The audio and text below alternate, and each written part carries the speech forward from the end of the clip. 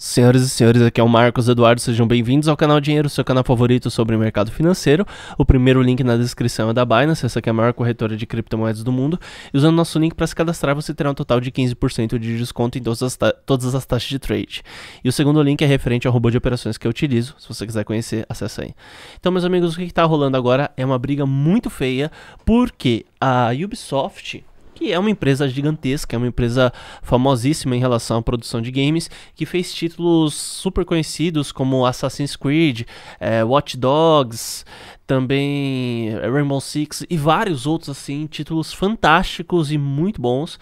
Ela agora está adicionando NFT nos games. Só que o que a galera o público né, da Ubisoft está muito chateado e muito brava e falando muito mal da empresa é que é o seguinte: existem alguns tipos de prática no mercado que são aceitáveis e que não são.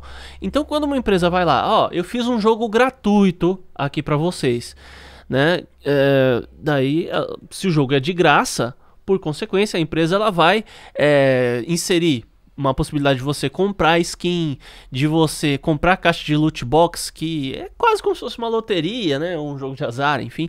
Que a pessoa ela vai comprar uma caixa e pode vir um item raro, tanto quanto pode não vir, ou enfim, não vai vir exatamente o que a pessoa quer. É uma espécie de sorte para você ganhar alguma coisa.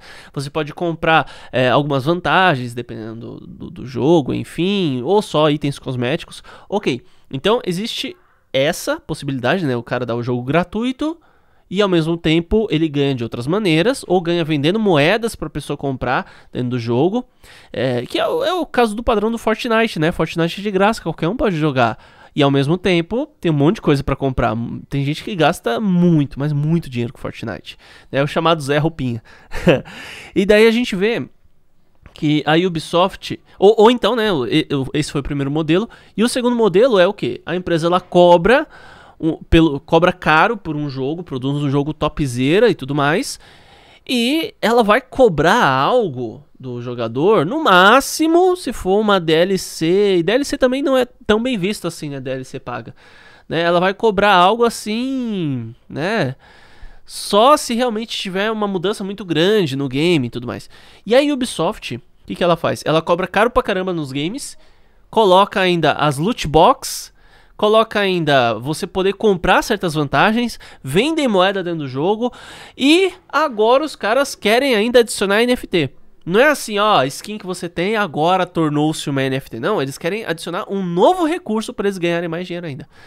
Então, eu não vejo como errado da parte deles, porque assim, o jogo é deles, eles fazem o que eles quiserem. Mas em contrapartida fica feio pra caramba, né? É a mesma coisa. É, você tem o direito de sair na rua com a roupa que você quiser. E eu tenho o direito de achar o que eu quiser da sua roupa, né? E é mais ou menos isso. É uma relação cliente-consumidor em que a gente está vendo uma prática predatória que eu penso que a Ubisoft não deve ser proibida disso. Mas ela tem que ser criticada pra caramba, porque isso realmente tá um absurdo, né? Se ela, ela quer ganhar a, a, a, cada centímetro, a cada milímetro. Eu não sei se vocês já foram em lugares assim, né? É, mas muitas vezes eh, tinha um, par um, parque aquático que eu ia com a minha esposa, mas no fim depois é, minha esposa pegou Covid, a gente acabou não indo, né? É, que cara, eu, eu comecei a ver no site assim, eles cobram a entrada do parque beleza, e é caro.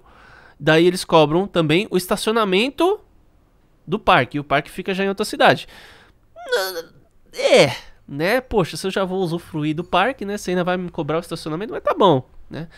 Daí eles cobram ainda, né, para ter acesso a uma área VIP lá dentro. Caramba, o ingresso é caro pra caramba. Você paga o estacionamento e ainda paga um, uma área VIP lá de acesso. Hum, tá bom. E daí você vai comer lá dentro, tipo, o almoço é hiper caro. E, e, e no fim das contas, assim, hiper caro no sentido do, do, do que eles oferecem, né?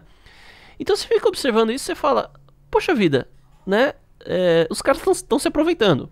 Literalmente, estão se aproveitando. Né? Então eu não tenho a menor vontade de frequentar nenhum lugar assim, também não tenho a menor vontade de jogar algum jogo que seja dessa maneira. E sempre que tiver alguém agindo dessa maneira, a gente vai criticar. Né? Do mesmo jeito que eu estou aqui aberto a receber crítica, né? Essas empresas, se elas fazem alguma burrada, elas obviamente vão receber crítica. Então é isso, pessoal. Muito obrigado por ter assistido. Espero que o material tenha sido útil e até mais.